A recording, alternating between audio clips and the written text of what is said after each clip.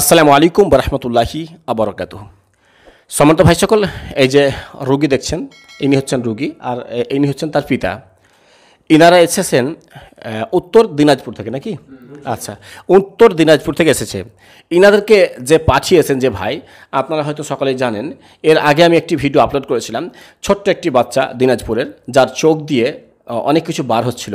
চোখ দিয়ে সোনার দুল বার হচ্ছিল কানের দুল বার হচ্ছিল আরও কাঁচের টুকরো বা অনেক সুতো বা ধাগা, এগুলো সব বার হচ্ছিল।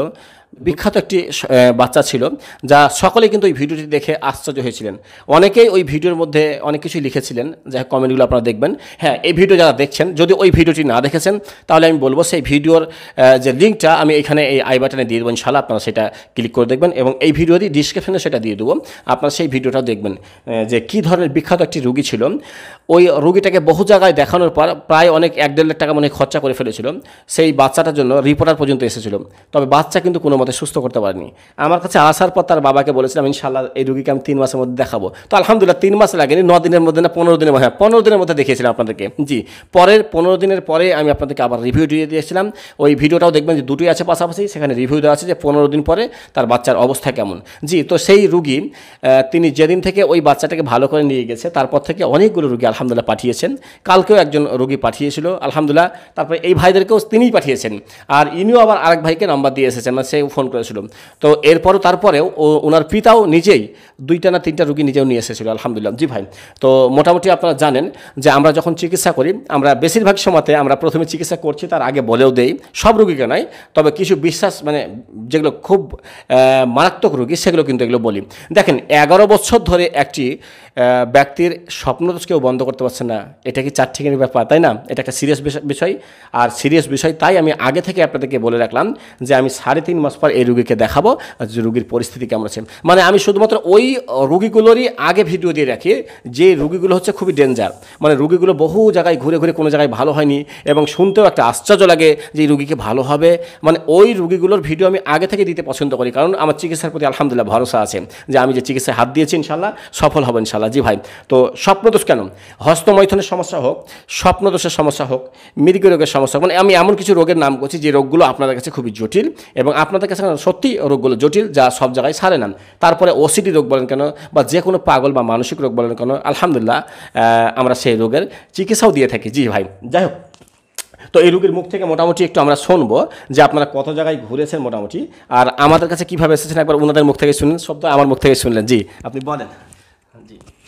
এটা মোটামুটি দশ থেকে এগারো বছর আগে অনেক দিন থেকে চিকিৎসা করছি। অনেক মৌলবি দেখালাম মাতকে দেখালাম হ্যাঁ তারপরে আরও বিভিন্ন কবিরাজ দেখালাম। দেখার পরে হচ্ছে না। আচ্ছা আপনারা ডাক্তার দেখাননি কখনো এই বিষয়ের উপরে? ডাক্তারও দেখাইছিলাম হ্যাঁ কলকাতার ডাক্তার আমার কালিয়াগঞ্জে আসে রায়গঞ্জে আসে। তো এগুলো দেখাই দিলাম তো ওরা তো পেটের সমস্যা এইগুলো দেখতো। তো পেটের সমস্যা একটু যা কমে আসে একটু খালি আছে এখানে লিভারের জন্য ব্যথা করে। আর এই মূলবিদ্যারা কাজ করি এই যে স্বপ্নর দোষ দিনের বেলা কাজ করতে পারে না। তো কাজ করতে গেলে সে পেশাবের আগে সে ঋতু চলে যায়। আর রাত্রেবেলা স্বপ- স্বপ্ন দেখে মেয়ে ছেলে চলে আসে। হ্যাঁ এই বিভিন্ন আর কি পরিশ্রমের একটা মেয়ে চলে আসে তখন ওই স্বপ্ন দোষে বাস। এইগুলা কাজ হয়। স্বাস্থ্য ধীরে দিন ছেলের কমে যায়। তখন এ আমার গ্রামে ওখানে এক ছেলে ছিল, তার ছেলেকে নিয়ে আসছিল চোখের বেশায় ওদের বাড়িতে ওর কথা শুনে তারপরে আমি বিশ্বাস করে চলে আসলাম। আল্লাহ ভরসা করি। জি জি, ইনশাল্লাহ ইনশাল্লাহ। জি।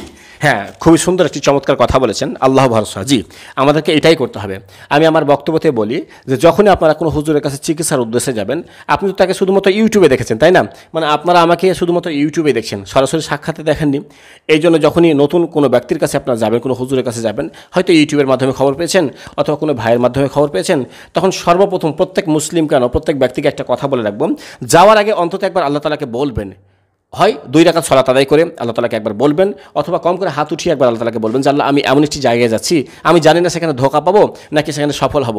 তো আল্লাহ তালা চাইলে সব জায়গায় সফল করতে পারে। তো আল্লাহর কাছে একটু দোয়া করে বার হতে হয় যে, আল্লাহ, আমি এমন একটি জায়গা যাচ্ছি যেন ধোকা না হয়, যেন আমি শিফা পাই।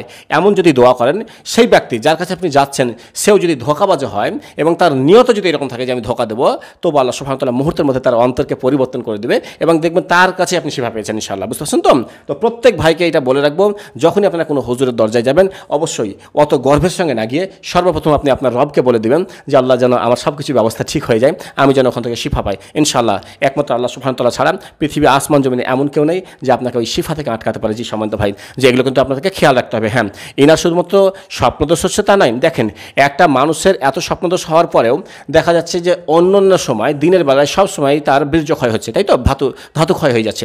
তো বারবার ধাতু ক্ষয় হয়ে যাওয়ার কারণে একটা ভারী কিছু ওয়েট চারটি আছে, তবুও তার ধাতু বেরিয়ে যাচ্ছে তো একটা মানুষের দীর্ঘ এগারো বছর ধরে যদি ধাতু ক্ষয় রোগ থাকে, তাহলে তার শরীর থেকে এতগুলো ভাইটাল ফ্লুইড লস হয়ে যাচ্ছে, বুঝতে পারছেন তো?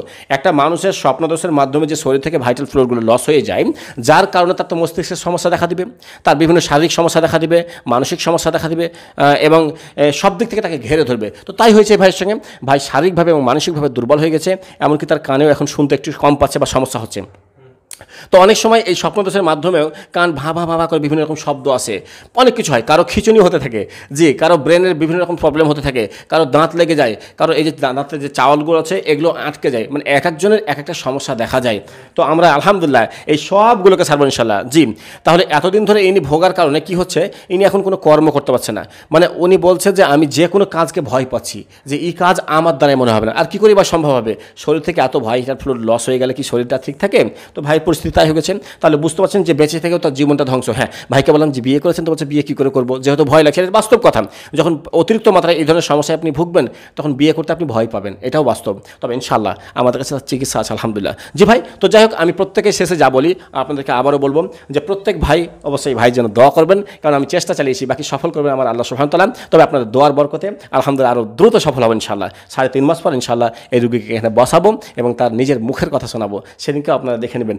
আজকের ভিডিও আর সেদিনের ভিডিও। জি ভাই, যাই হোক, এখান থেকে আমি শেষ করছি। আসসালামু আলাইকুম বরহমতুল্লাহি আবরকাত